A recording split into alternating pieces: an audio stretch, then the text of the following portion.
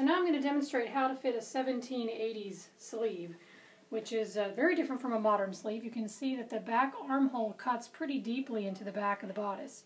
This was to make the upper back look narrow, which was the ideal of the time, this tightly fitted back. Right now all we've done is pin it shut, so it doesn't have its proper hooks and eyes or anything like that. We have finished the bodice, the neckline's all done, the lining is in, and we've just pinned it on the child so that we can basically get an idea of how it's going to be when it's on. I've also gone ahead and made the sleeve. It's got the ruffles in it, lace, it's all finished because it's much easier to do a sleeve on its own than to put it in the bodice first and then try to deal with the bodice being in the way while you're finishing the ends. So what our foremothers would have done is called draping and fitting by hand. When you went to a mantua maker, she fit everything to you. She didn't have notches or little marks to match things up with. She did it on the client. So what we're going to have the child do is slide her arm into the sleeve just like she's putting the dress on. And then we pull the sleeve up to where it's meant to be. And we notice this sleeve has a dart in it which is meant to accommodate the elbow. So you want to have the child bend her elbow. There we go. Now we've got that nice fit to the elbow. And you can see I'm not going to pay any attention to the marks on the pattern. Yes, if I didn't have the child, I would follow the marks just as they are because I've put them in the best place they can be, assuming there is no child to fit to. But if you have the child, ignore the marks if needed and just fit directly to the dress. So with her elbow bent, what I've been able to do is rotate. I, I, I can see, oh, the sleeve doesn't fit this way because then that won't be on her elbow.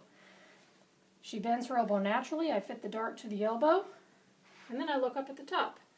And I say, okay, see how this naturally fits into this curve here and on the front.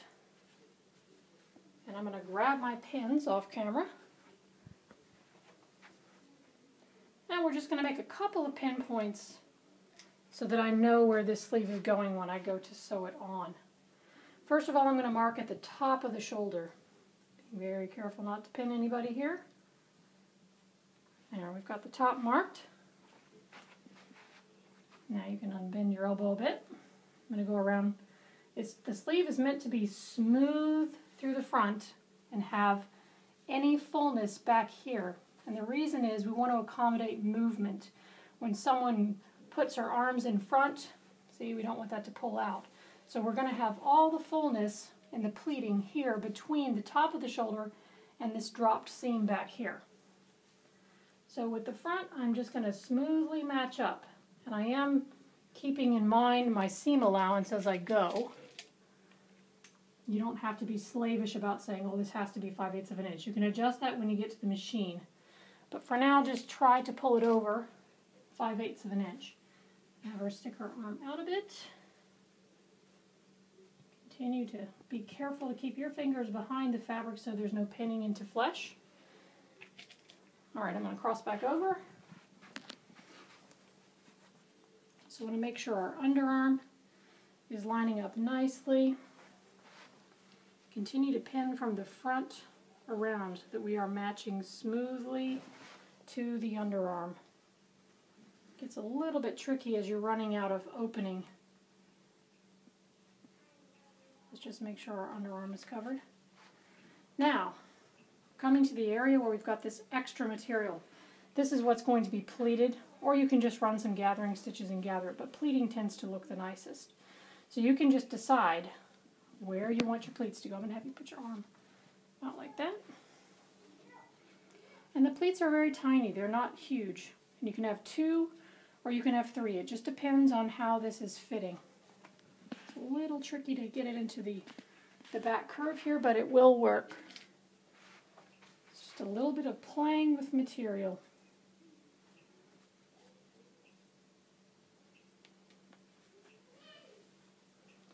And there's my leftover that I'm going to pleat. And I want to pleat from the top of the shoulder down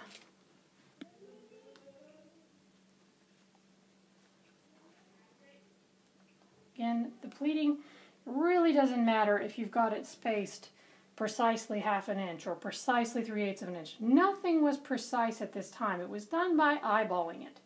If I think it looks nice, it's nice. If you think it looks nice, it's perfect. So don't obsess about the pleat lines. So on this dress, I've just taken two pleats. That's all I need. The rest is nice and smooth and matches the back curve of the dress. Now keep in mind, of course, what I've done here is this is the right side of the sleeve and this is the right side of the gown. I haven't flipped everything around and pinned from the wrong side. What I'm going to do is, I'm going to do that when I sit down at the machine. I'm going to take the sleeve off, but I'm going to keep my marks. You can use tailor's chalk if you want. You could make a mark here and a mark here, and a mark here and a mark here, just to remind you where things went and keep your pleats in place. And then you'll be able to pin it back together as you're sitting at the machine and stitch around. So let's see that elbow bend again. Very nice. I'm going to turn her this way. So we can see the nice smooth line here and the beautiful fall of the ruffle at the top of the elbow. Bingo, you've set your sleeve. Okay, so now I'm seated back down at the machine and I've removed the sleeve from the armhole. But what I did, I'm not using tailor's chalk because I've had nightmares getting the chalk off the fabric in the past.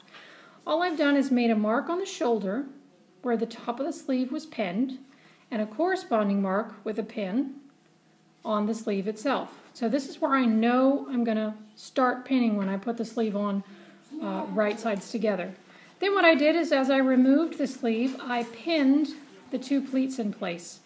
So I know exactly where they are. what I'm going to do is duplicate these pleats and these marks on the opposite sleeve before I stitch this in place. And that way I know both sleeves are going to be identical and they're going to look great. So I've sewn my sleeves in and I've put the bodice back on this daughter of mine to check the fit.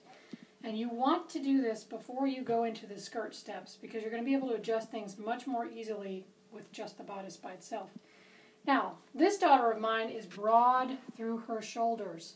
The younger daughter that I made the other dress for is narrow through the shoulders. What fit on her absolutely perfectly doesn't fit on this child as easily because the broad shoulders are pushing this neckline out.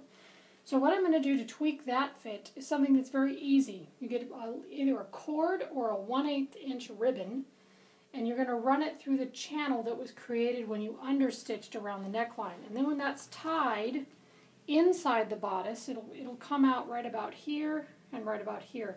And then when the dress is worn, it'll be tied and that's going to pull in this fullness at the neckline and shoulders which will look perfect. But there's another area of fit. What looked fine when we were setting the sleeve actually turns out to be a problem here. You can see there's a little bit of bunching where these pleats are. Where the arm is supposed to accommodate fullness, we've actually just created a pucker. But like I said, these things were done by eyeballing and by hand. So all I'm going to do is take out these pleats here and I'm going to shift them down to here because where she needs the fullness with her broader back, is here in this curve. It's not closer to the top of the sleeve. So I'm actually going to drop the pleats below this shoulder seam. So they're going to come more like right here. Then that's going to create a bit of fullness here for the pull across her shoulder, and then we'll get rid of this bulge. So never be afraid to take something apart and redo it. That's what the seam ripper's for. My mom taught me, as you sew, so shall ye rip. And that's the best advice I ever got. So always feel free to tweak. This is going to come out the pleats are going to shift downward, and then we're going to have the fullness here where it's more natural and where it accommodates the fullness of her shoulder, and we'll get rid of this little bulge here. But we still got a beautiful fit on the elbow with the fall of the ruffle. So other than that, other than this little tweak, we don't need to take the entire sleeve out. All we need to do is shift. There you go.